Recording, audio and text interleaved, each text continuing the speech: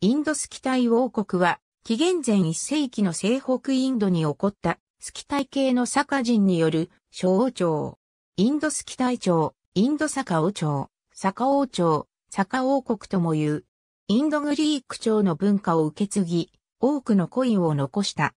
紀元前2世紀、モンゴル高原の覇者となった郷土は、西域攻略を開始すべく、手始めとして、敦煌付近にいた月氏を駆逐した。月氏は、石区湖周辺にまで逃れ、もともとそこにいた、西族を追い出してその地に居座った。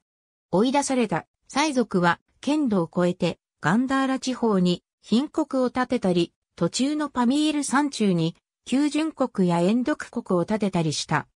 これらの国々がインドスキタイ王国なのかは不明だが、紀元前85年頃には、北方遊牧民が西北インドに侵入し、インドグリーク朝を滅ぼして、自らの王国を築いた。インドスキタイ王国も、インドグリーク朝に倣い、多くのコインを鋳造した。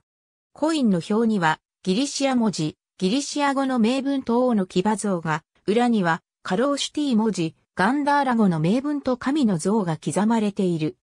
マウエスのコインスパラホレスのコインスパリリセスのコイン、スパラガダメスのコインアゼス一世のコインアズイリセスのコインゼオニセスのコインカラホステスのコインアスパバルマのコインビマジュナのコインバダヤサのコイン、感情再域伝二言語併用貨幣の電波、ギリシア系バクトリア王国からクシャンアサまで。ありがとうございます。